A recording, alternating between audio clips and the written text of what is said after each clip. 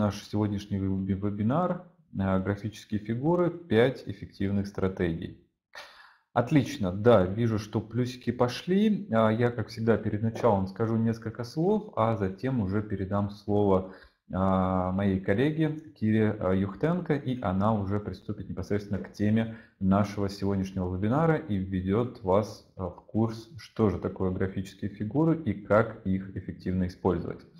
А, как всегда, перед началом это а, предупреждение о рисках. Важно помнить о том, что торговля на финансовых рынках она сопряжена с определенной долей рисков. А, это риск и использования кредитного плеча, и высокая волатильность на рынке.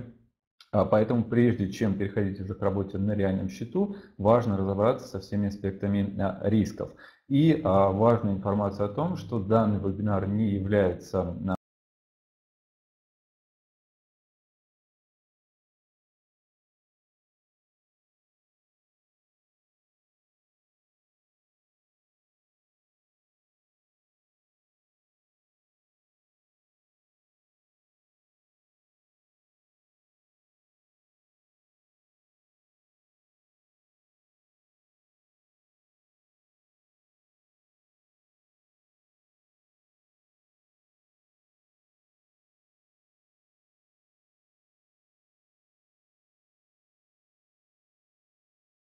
отвечает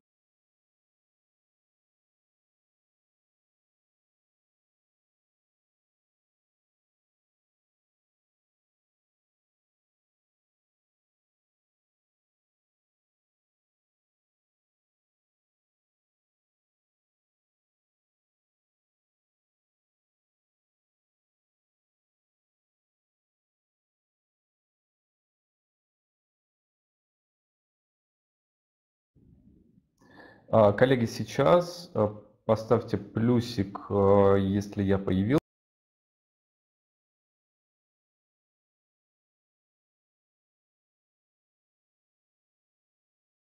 Так, еще раз. А, коллеги, вот сейчас я должен быть перед вами. А, поставьте, пожалуйста, плюсик.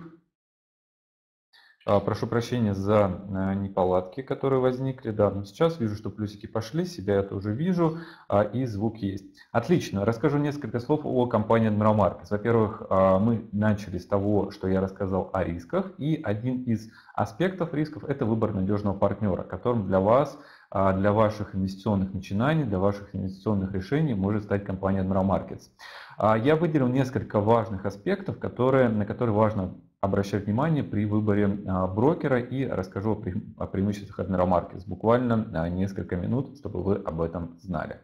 А, во-первых, когда вы выбираете для себя компанию, важно обращать на регулирование.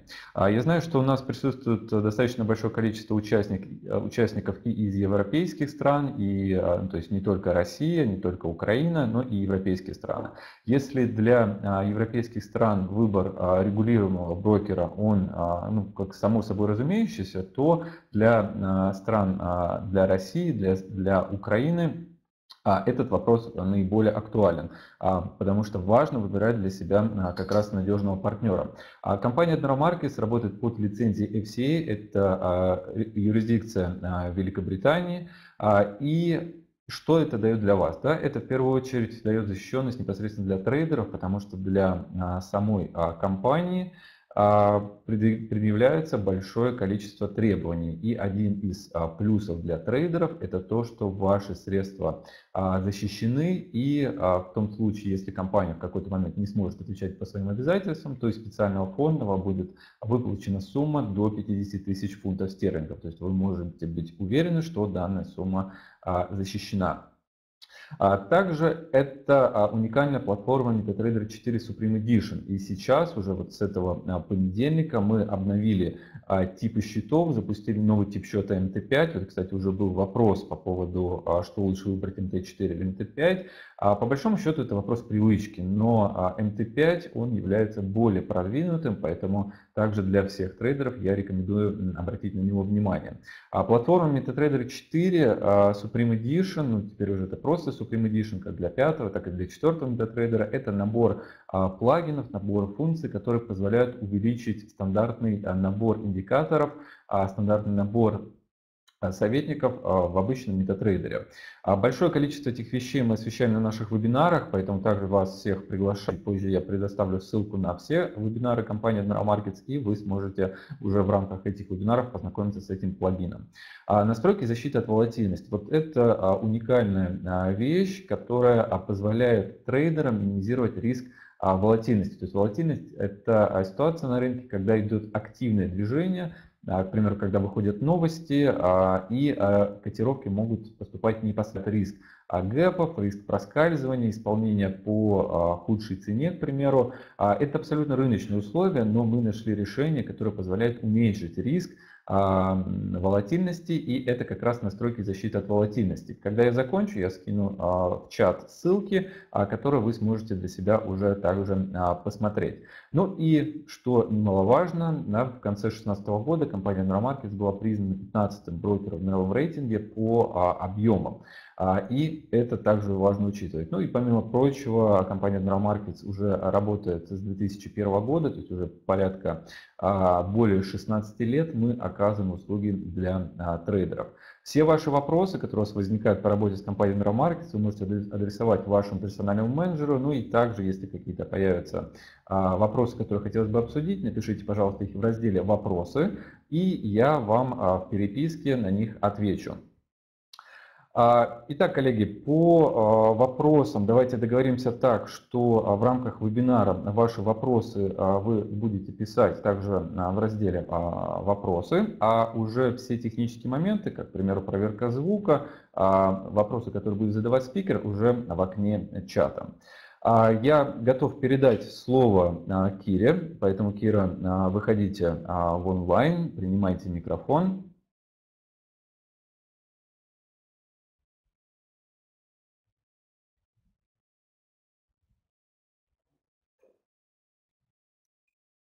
Раз-раз. Добрый день. Друзья, рада приветствовать вас в этот прекрасный сентябрьский день. И, пожалуйста, поставьте плюсик, если меня хорошо слышно. Это, пожалуй, самое главное. То, что видно, вот, в принципе, я уже могу догадаться. Супер, спасибо. Спасибо. Роман, спасибо большое за ваше предисловие. Было очень полезно. И, друзья, сегодня мы продолжаем наш э, цикл вебинаров по основам а, технического анализа на финансовых рынках. Я вам напомню, что те инструменты, которые мы обсуждаем, э, применимы для любой площадки абсолютно. Это может быть анализ рынка Форекс, это может быть анализ фондового рынка, это может быть анализ рынка криптовалют, недвижимости или любого другого актива, который вас интересует. Здесь важно именно освоить базовый инструментарий и дальше уже прокачивать свои навыки и интуицию. Поэтому я надеюсь, что э, этот цикл будет полезен для всех э, начинающих и продолжающих трейдеров. Сразу предугадывая вопросы, коллеги, запись вебинара обязательно будет. Э, она появится на канале компании Admiral Markets. Э, попрошу, наверное, Романа скинуть ссылку на канал. Спасибо большое. А, и, друзья, также я напомню, что цикл э, наших занятий состоит из 10, поэтому вот еще попрошу Романа сразу же скинуть ссылку на следующий вебинар, который состоится у нас ровно через две недели. Для тех, кто захочет продолжить обучение с нами также бесплатно, можно уже сейчас э, регистрироваться. А, так, про запись вебинара я рассказала, и также хотела бы сразу вас предупредить, что на вопросы по ходу моей презентации я постараюсь не отвечать для того, чтобы разговор наш был беспрерывным и понятным.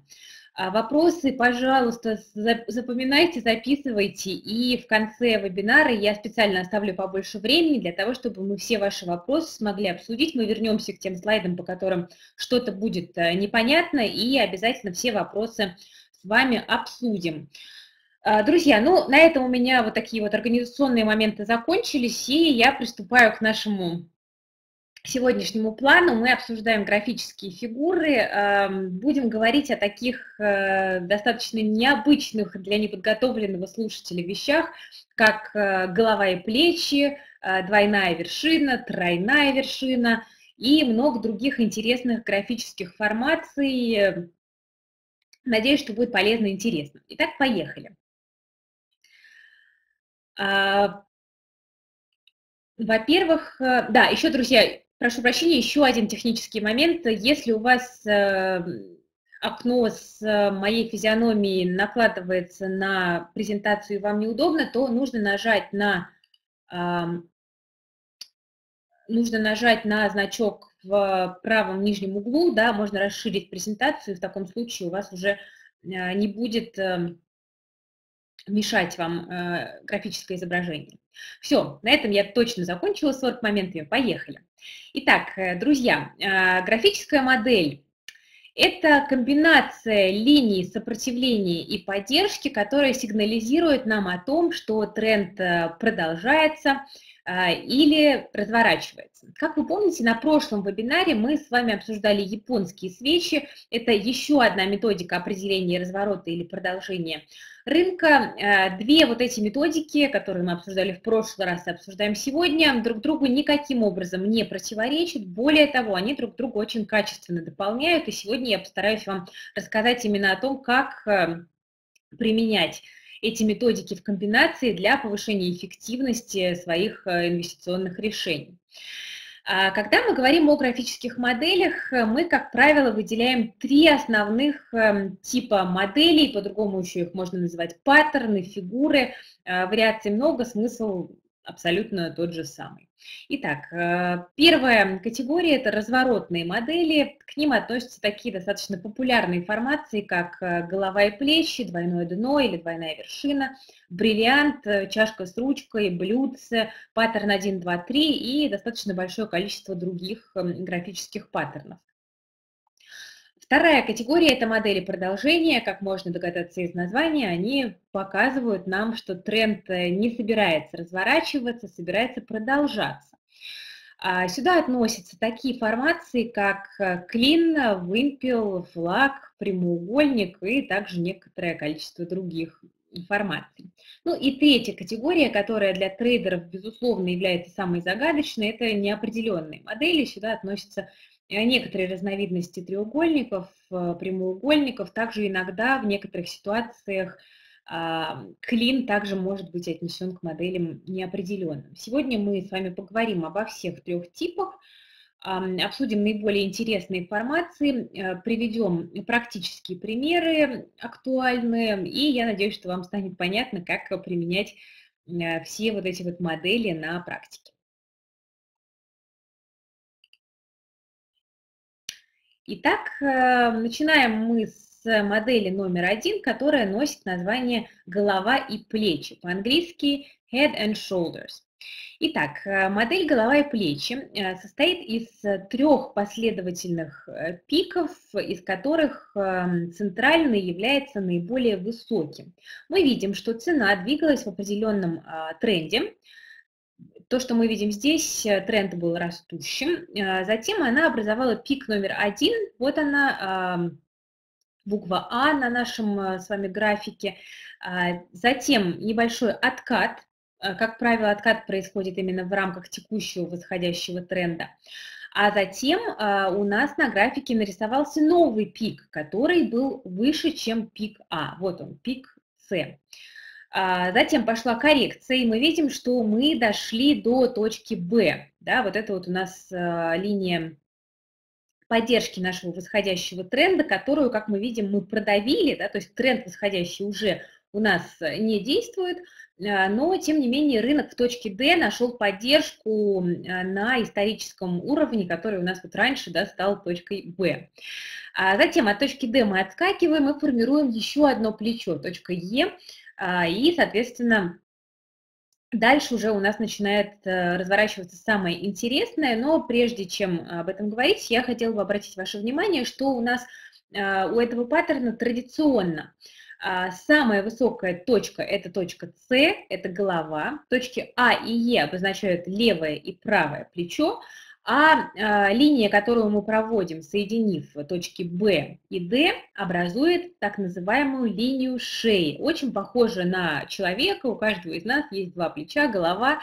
А, как и в жизни, плечи у этой фигуры не всегда могут быть симметричны. То есть как у человека может быть там какое-то небольшое э, искривление позвоночника, то все мы, наверное, этим страдаем с нашим сидячим образом жизни, так и у графического паттерна также симметрия не обязательна. Здесь важно понимать именно общую логику формирования этого паттерна и уже от нее отталкиваться.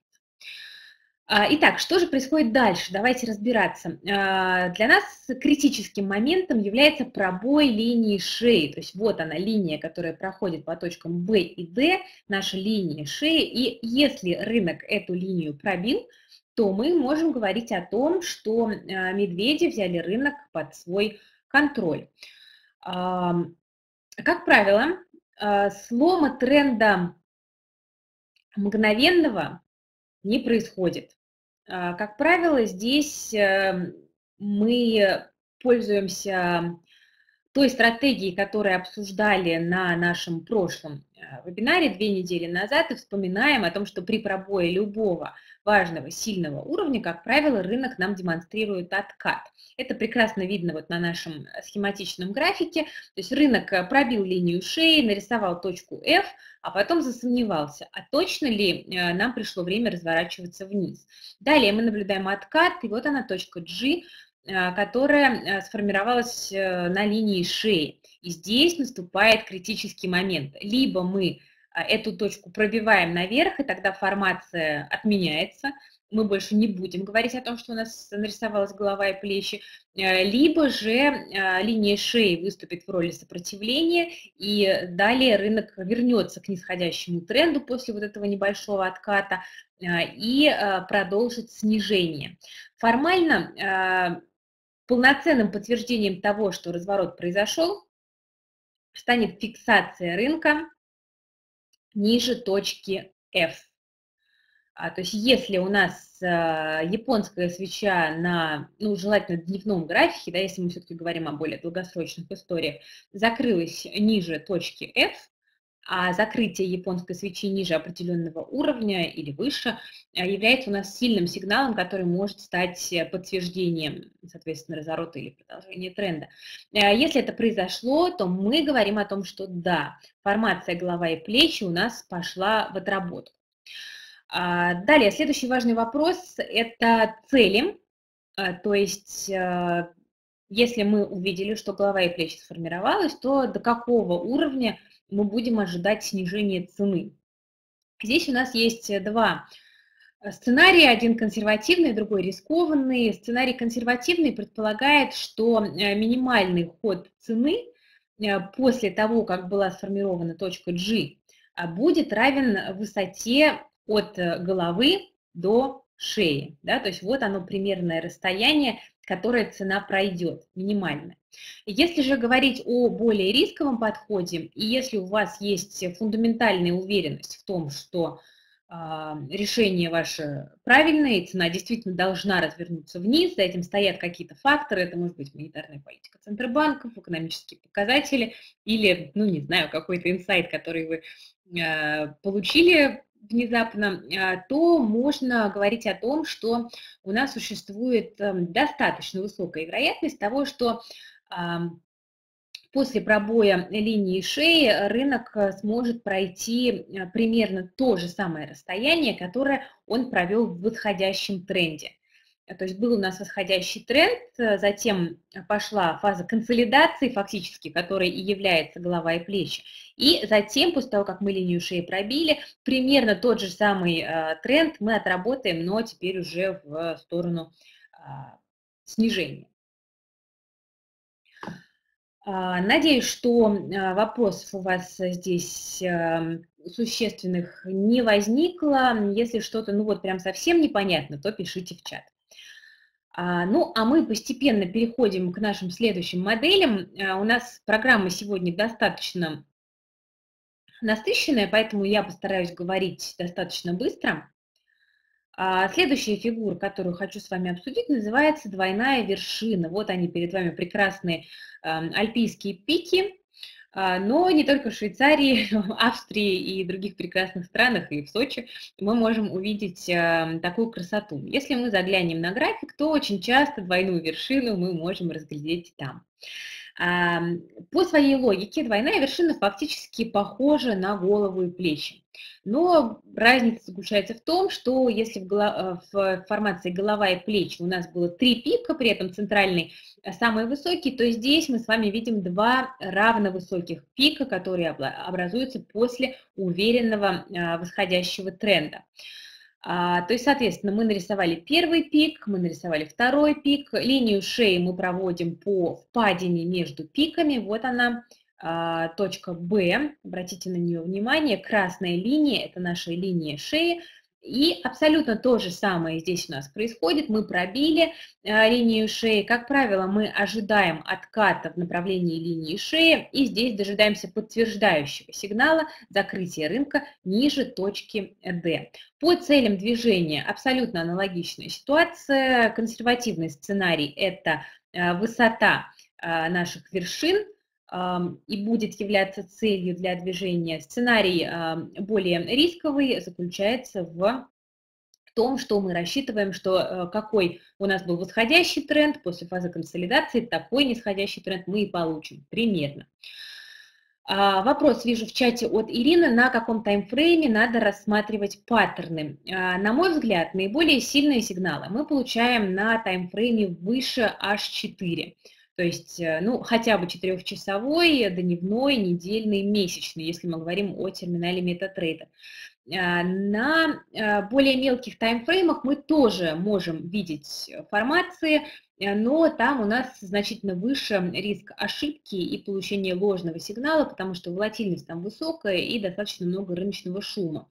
Поэтому я бы все-таки рекомендовала брать таймфреймы повыше для того, чтобы найти паттерны, а уже точки входа можем выбирать на более мелких таймфреймах, ориентируясь там на закрытие японских свечей и какие-то локальные тренды, которые мы уже можем увидеть именно на мелких таймфреймах.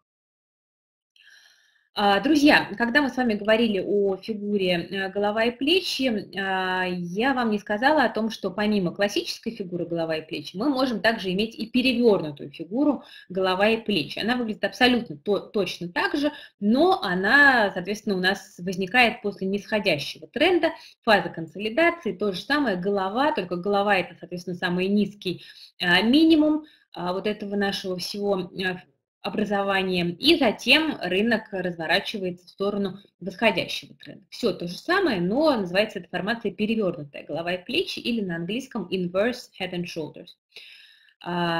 Двойная вершина, на английском языке это у нас double bottom, достаточно часто просто в интернете встречаются именно английские наименования, поэтому буду их упоминать. Ну вот, например, давайте посмотрим, как э, двойная вершина у нас может появиться в реальной жизни. Сейчас перед вами график. Э, Буду рада очень, если кто-то в чате мне напишет о том, э, что это за акции. Продемонстрируйте нам свою эрудированность, пожалуйста. Ну, если не вспомните, то я скажу. На самом деле, как я уже говорила, нам совершенно не важно, неважно, о каком инструменте а, идет речь, это могут быть как валюты, так и акции, да, что угодно, абсолютно индексы, товары. А, на данный момент а, мы с вами смотрим на акции МУЭКС. Дмитрий предположил, что это «Газпром», потом немного подумал и назвал правильный ответ. Да, действительно, это акции Московской биржи, нашей крупнейшей в России финансовой площадки. А, итак, эм, мы с вами видим, что у нас был уверенный восходящий тренд. Это перед вами а, недельный график, если я не ошибаюсь. И мы видим, что у нас был уверенный восходящий тренд. Вот он, практически безоткатное движение. А, мы двигались в этом тренде до тех пор, пока у нас не сформировалась свеча, похожая на дожи. Э, вот она. Вспоминаем наш первый вебинар. Кто его не смотрел и не знает, что такое дожи, то рекомендую к нему обратиться. Также на канале Admiral Markets э, можно найти э, запись нашего первого вебинара по японским свечам. Э, те, кто были, помнят. Дожи, свеча с маленьким телом, которая при образовании на минимумах или максимумах локальных может сигнализировать о развороте тренда. Затем у нас последовала сильная красная свеча, мы снизились, и далее здесь у нас образовалась свеча, похожая на молот, вот почему я вам говорила, что мы можем очень э, удобно, очень комфортно эффективно комбинировать графические модели и японские свечи. Образовался молот, мы пошли в небольшой рост, нарисовали новый пик. А, он оказался несколько выше предыдущего. Как я уже говорила, это касается головы с плечами, это же касается и двойной вершины, ну и фактически всех остальных паттернов. А, не обязательно вот такой вот прям строгая симметрия, Э, главное, чтобы соблюдалась на рынке логика. Затем а, мы пошли на снижение а, и пробили линию шеи. Вот она как раз э, зеленая линия, да, фактически, которая у нас на графике обозначает а, текущую цену. Мы пробили линию шеи, затем последовал откат. Все как полагается по классике технического анализа. И фактически сейчас а, мы с вами находимся в той фазе, когда мы не понимаем, что будет дальше. И для того, чтобы принять какое-то конкретное решение, нам нужно дождаться э, дальнейшего развития событий. Потому что если акции уйдут ниже нашего локального минимума, вот он, вы можете увидеть его. А если японские свечи, которые последуют от текущей, закроются ниже, то мы будем говорить о том, что произошел разворот, и у нас срабатывается двойная вершина. Если же мы вернемся выше линии шеи и увидим а, хотя бы одну японскую свечу, которая закроется выше этого уровня, а, то мы будем говорить о том, что формация не отработалась, сигнал был ложным. А, но так как мы с вами подходим очень осторожно, консервативно и дожидаемся подтверждающих сигналов, то деньги мы не потеряем, потому что в позицию мы еще не вошли. В позицию мы будем входить после пробития локального минимума. Вот так вот э, выглядит двойная вершина на графике. А, точно так же а, двойное дно. Абсолютно аналогичная история. Double bottom а, на английском языке. Абсолютно та же самая история, но обратная. Был нисходящий тренд. Первое дно, второе дно, пробой линии шеи, которая строится по точке B, дожидаемся небольшого отката, и после пробоя выше точки D с уверенностью уже можем говорить о том, что у нас произошел разворот тренда. Вижу вопрос, работает ли на криптовалютах. Работает на криптовалютах. Ну, единственное, что крипторынок у нас пока еще очень молодой, и там волатильность повышенная, повышенная реакция на разнообразные новости. Вот э, сейчас, э, я думаю, что вы слышали, возможно, что новости из Китая очень сильно беспокоят э, криптовалютных э, трейдеров. Поэтому он уязвим и очень болезненно реагирует на все новости. А, я думаю, что буквально через несколько месяцев а, мы увидим стабилизацию на рынке криптовалют и увидим а, намного более уверенную отработку всех графических формаций. Ну и сейчас применять технический анализ э, на рынке криптовалют можно, и многие трейдеры это успешно делают. Потому что фактически криптотрейдеры, вот люди, которые сейчас трейдят там биткоин, эфир и так далее, эм, во многом это люди, которые пришли э, с э, финансовых рынков, очень много людей с Форекса, они просто пришли на новый рынок и применяют свои знания там э, достаточно успешно. А вот перед вами график пары американский доллар, российский рубль, тикер USD рубль. Здесь у нас есть очень интересная ситуация, которую хотела бы с вами обсудить. У нас это график у нас дневной перед вами. А у нас был э, уверенный нисходящий тренд эм, российский рубль укреплялся в конце 2016 начале 2017 года. Потом мы увидели формирование двойного дна. Вот оно, а, вот она желтая история на нашем а, графике. А, сиреневый пунктир – это линии шеи по нашему паттерну двойное дно. Что произошло дальше? Давайте разбираться. Линию шеи мы пробили, мы вернулись к ней, все по традициям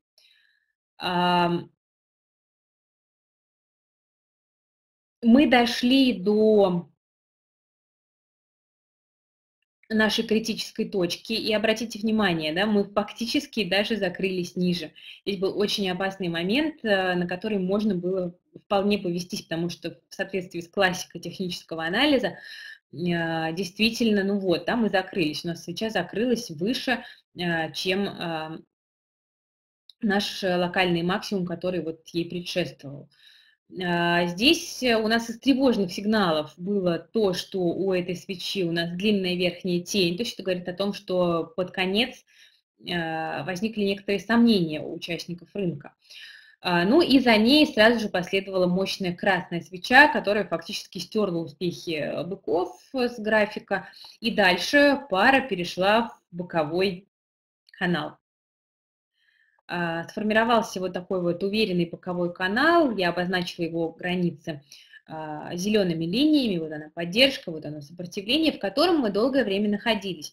И а, дальше стоял вопрос, либо мы пробиваем этот канал наверх, и, соответственно, подтверждаем двойное дно, оно начинает отрабатываться, либо мы пробиваем этот канал вниз, и, соответственно, двойное дно у нас э, стирается.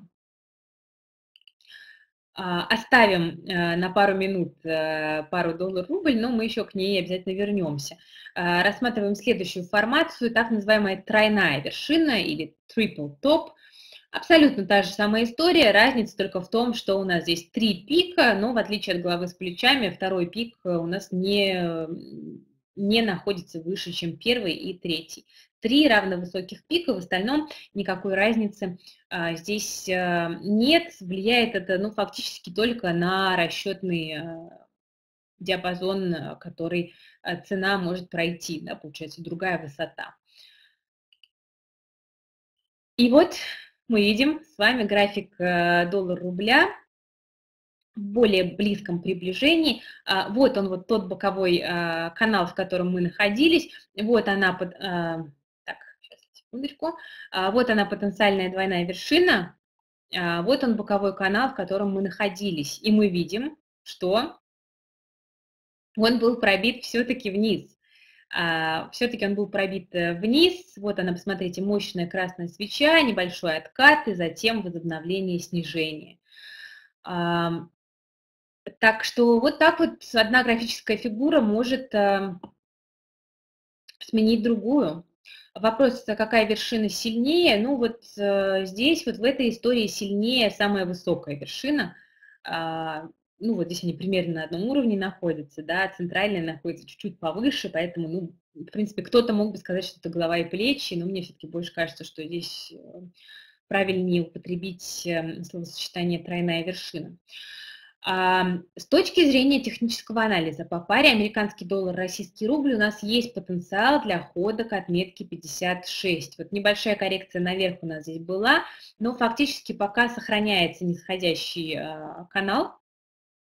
Если мы соединим а, вот эти пики, то увидим, что пока коррекция остается в рамках нисходящего канала и говорить о том, что вниз нам спускаться больше некуда, я бы все-таки сейчас не стала, да, если мы отталкиваемся именно от основ технического анализа. Поэтому отметка 56 достижима, ниже, на мой взгляд, достаточно маловероятно.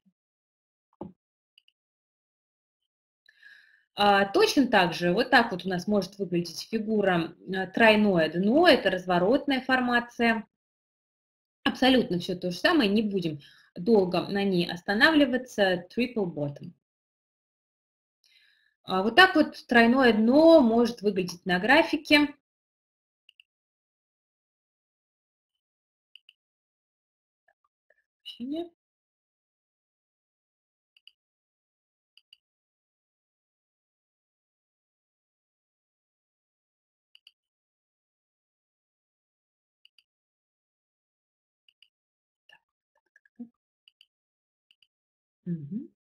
А, вот так тройное дно может выглядеть эм на графике. Если я не ошибаюсь, это пара евро-американский доллар в какой-то из моментов своего исторического развития. Вот оно, тройное дно, все абсолютно тоже четко, равно а, высокие минимумы, линия шеи, э, сиреневый пунктир. поселение в пунктир. И вот здесь посмотрите, точно так же пробили, все-таки дождались, как мудрые трейдеры, небольшого отката. После того, как мы увидели, что он не получает развития, мы входим в рынок, когда видим, что мы преодолели наш локальный минимум. И посмотрите, какой хороший ход наверх здесь получился. Это достаточно такая вот традиционная рыночная ситуация, не побоюсь а, так сказать.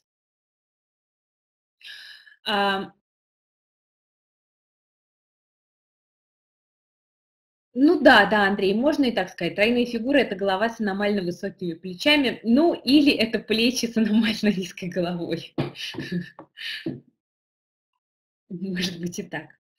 А, итак, эм, вариаций э, фигур разворота может быть достаточно много. Например, эм, вот перед вами паттерн 1, 2, 3.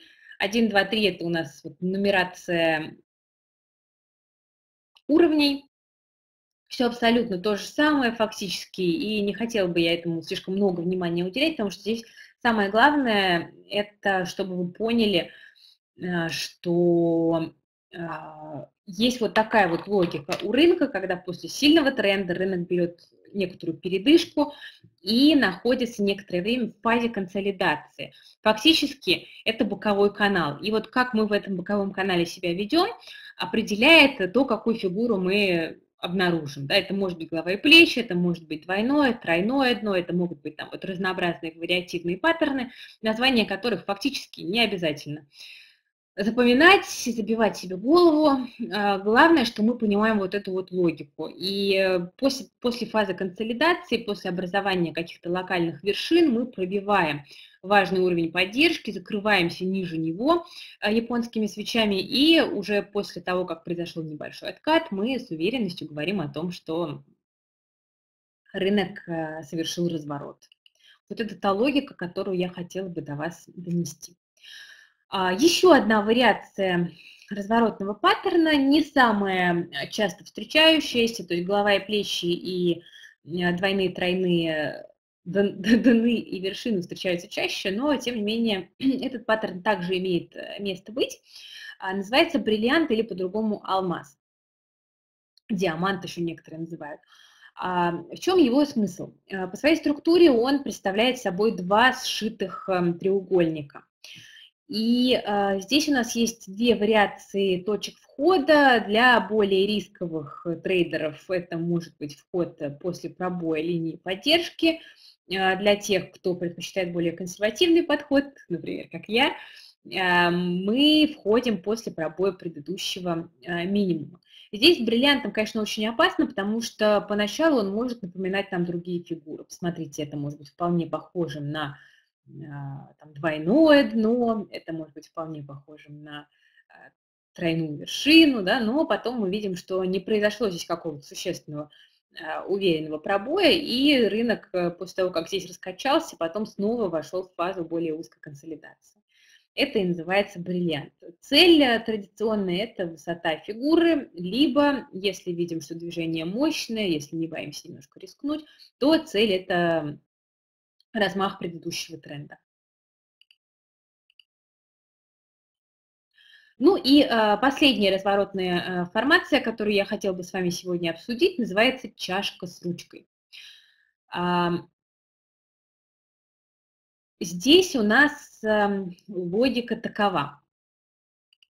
Мы с вами э, видим, э, что Чашка представляет собой э, локальный максимум, за которым затем последовала так называемая дуга, это долгий пологий откат и затем возвращение к нашему локальному максимуму.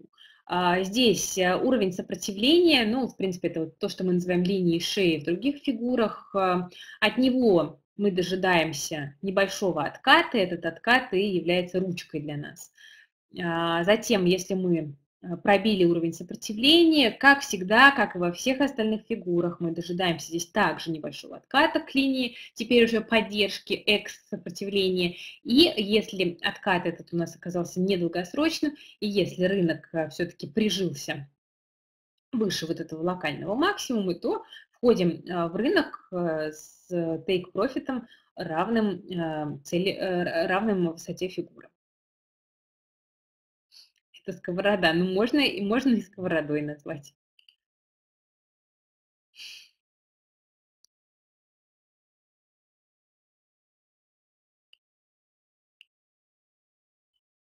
Ну что ж, друзья, у нас остается с вами не так много времени, поэтому мы в достаточно быстром темпе с вами будем разбирать модели продолжения. Здесь нет ничего абсолютно сложного. Здесь перед вами две наиболее традиционных модели. А, это флаг и это вымпел.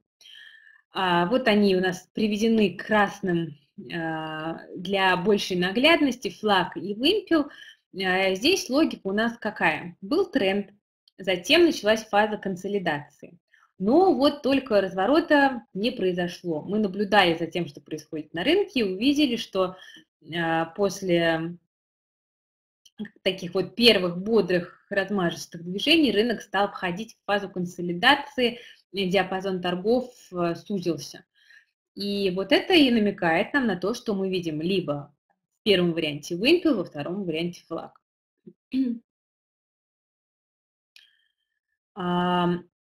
И для того, чтобы получить подтверждение этой фигуры, нам необходим пробой а, выше линии сопротивления, вот она красная, да, вот она по флагу. И если это происходит после того же самого уже ставшего традиционным отката, мы входим, а, ну вот на этом примере в длинную позицию.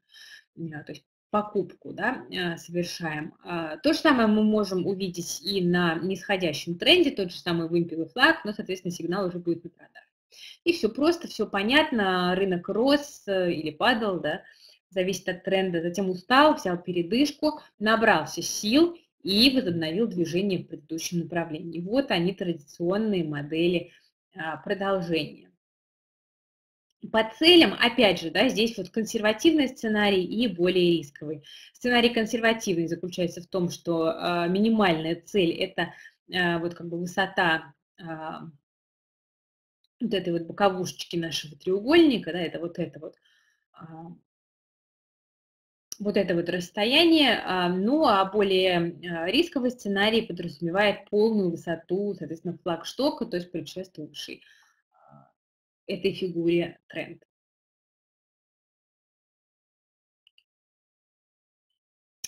А, далее хотела бы обратить ваше внимание на то, что а, достаточно часто мы можем увидеть, что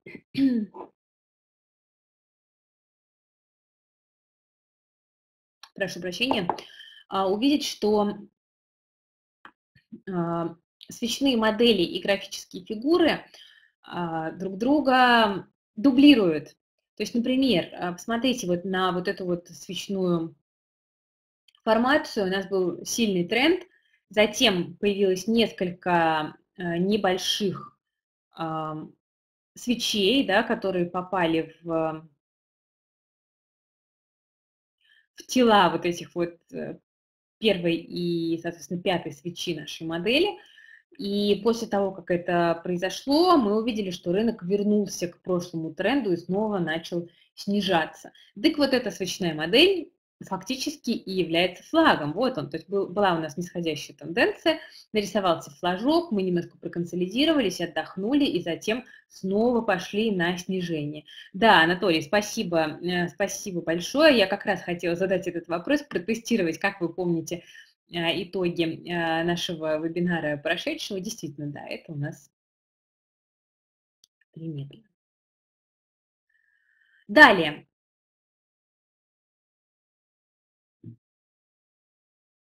Следующая вариация а, фигур.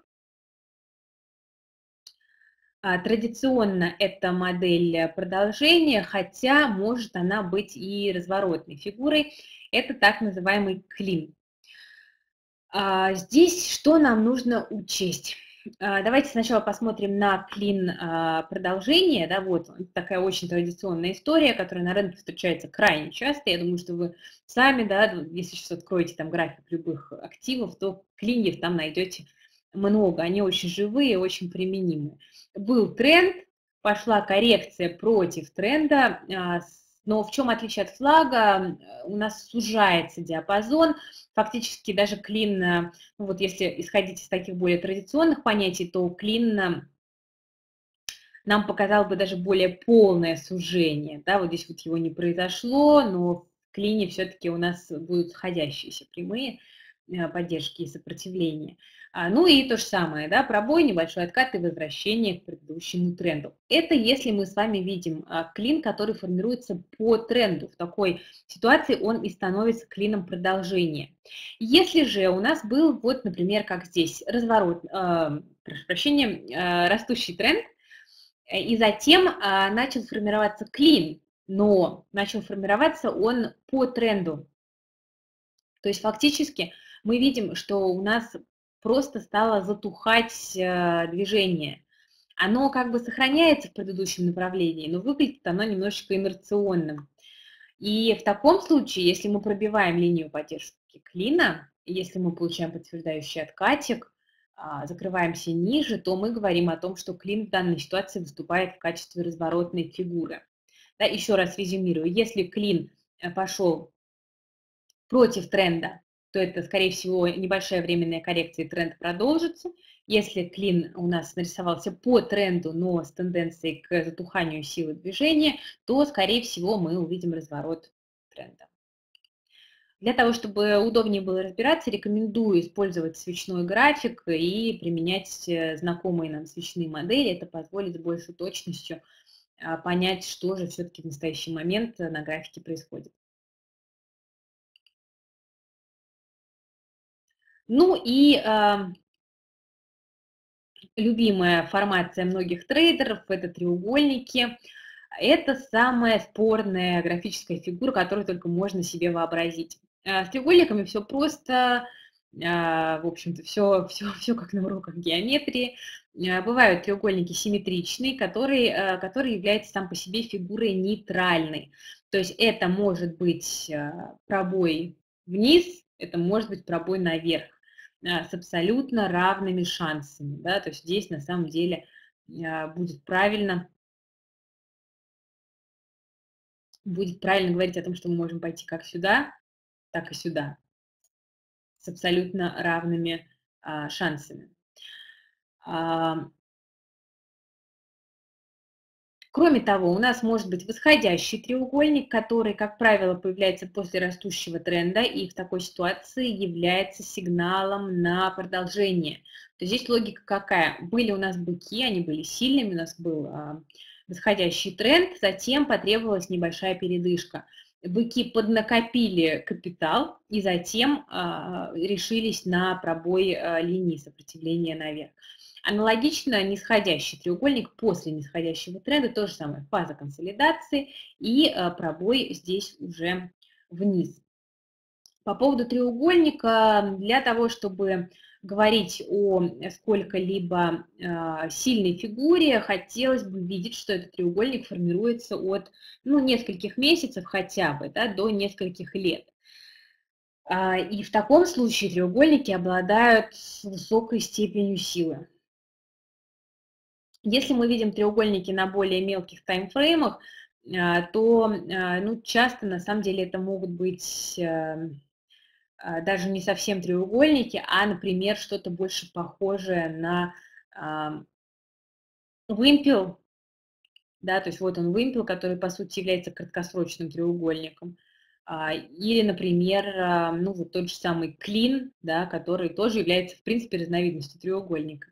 А, но треугольником мы на самом деле с большой вероятностью можем называть фигуру только если она достаточно долгосрочная. А, ну и вот здесь вот э, небольшая демонстрация того, как э, такие модели у нас выглядят в реальной жизни – Вообще хотела бы сказать, что пара американский доллар, японская иена является абсолютным королем не только треугольников, но и вообще графических фигур и свечных моделей. Возможно, дело именно в том, что графический анализ родом из Японии, я не знаю, но действительно так. Вот если посмотрите и на пару USD GPY, и, кстати, на кросс-курс евро GPY, то же самое много сильных, интересных графических моделей. И вот, собственно, посмотрите, как мы находим треугольники на графиках, а, как мы с ними работаем, мы проводим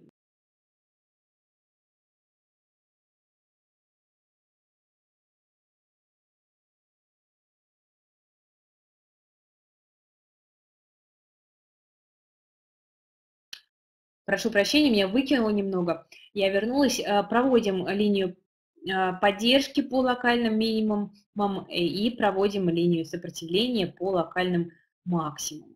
Если это происходит, если у нас все складывается, такой сужающийся да, треугольник обязательно должен быть, а, то это говорит о том, что рынок накапливает силу и готовится к новому, более мощному движению а, наверх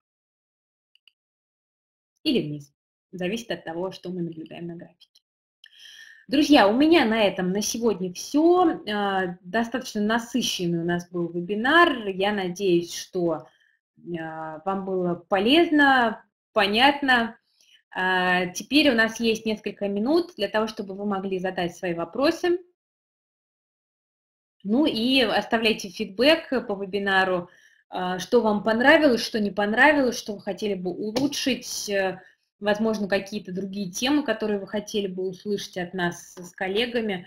А, будем рады услышать. Спасибо, спасибо, спасибо. И вам тоже большое спасибо за внимание.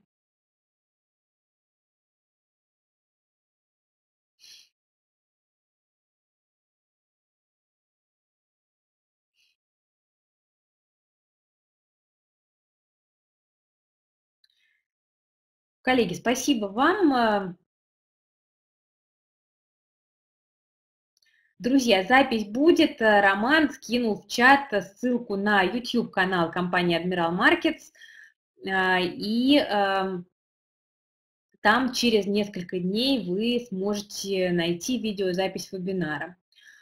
Кроме того, также у нас на сайте портала InvestFuture, главным редактором которого я являюсь, мы выложим а, запись и выложим текстовую расшифровку мероприятия э, через а, несколько дней. Также Роман скинул в чат ссылку на следующие вебинары admiralmarkets.com slash ru slash education slash webinars. Там вы найдете расписание следующих вебинаров. Если я не ошибаюсь, 27 сентября у нас э, состоится с вами следующее занятие. На него можно зарегистрироваться уже сейчас, 27 э, сентября, и мы с вами будем говорить о трендовых э, индикаторах и обсуждать эффективные стратегии, которые мы можем построить на базе трендовых индикаторов 27 сентября в 19.00. Ссылку можете найти в чате, Роман только что ее а, скинул. Так что регистрируйтесь, коллеги.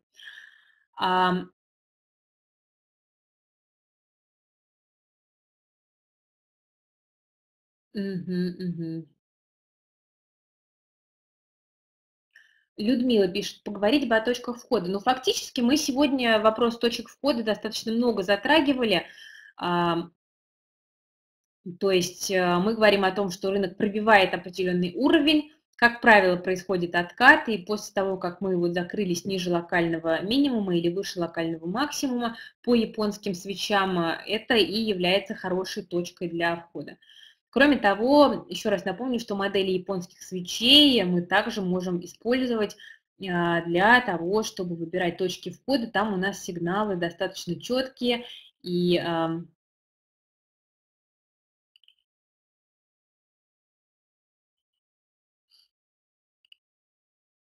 достаточно понятные. Сейчас, друзья, давайте скину нам в чат эм, запись вебинара по японским свечам. Открылся? Прошу прощения. Э, вот прям с конкретной ссылкой.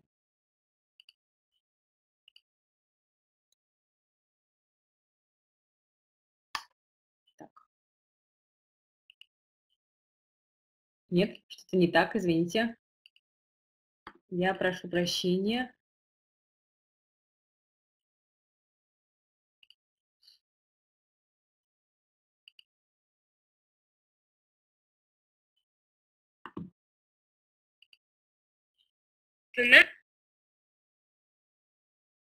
Вот он, вебинар. Нашла. Сейчас скину. Да, Роман, спасибо. Спасибо, да, у меня кривая ссылка какая-то получилась. А, вот еще вижу вопрос от Игоря. Можно было бы продолжить по графическим моделям, скажем, прыжок дохлой кошки. Ну, прыжок дохлой кошки, да, в принципе, тоже можно отнести к графическим моделям. Я думаю, что мы еще упомянем а, эту историю на одном из следующих а, занятий. Да, это такая тоже классическая биржевая история, когда тренд вроде бы и закончился уже, но вот еще какие-то последние такие вот конвульсии рынок в направлении этого тренда совершает. Ну что, друзья, спасибо большое вам за внимание. Было очень приятно с вами работать. До встречи 27 сентября. С вами была компания Admiral Markets. Меня зовут Кира Юхтенко. Я главный редактор портала для трейдеров и инвесторов Invest Future.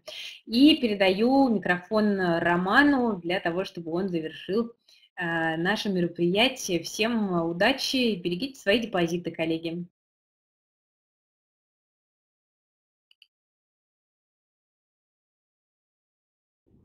Спасибо, Кира, за а, выступление, за интересный вебинар. А, и, коллеги, также всем желаю хорошего вечера. Приглашаю всех на следующий вебинар, который будет проходить уже далее. Ссылку на расписание я приложил в чат, также наш YouTube-канал. Обязательно подписывайтесь. И все интересные а, видео вы сможете просмотреть в записи уже в удобное для вас время. Также я приложил свою почту. Если у вас появятся какие-то вопросы, пожелания по вебинарам, по темам вебинаров, обязательно присылайте, и мы их включим в наши, а, уже в наше расписание. Всем хорошего вечера и увидимся на следующих вебинарах.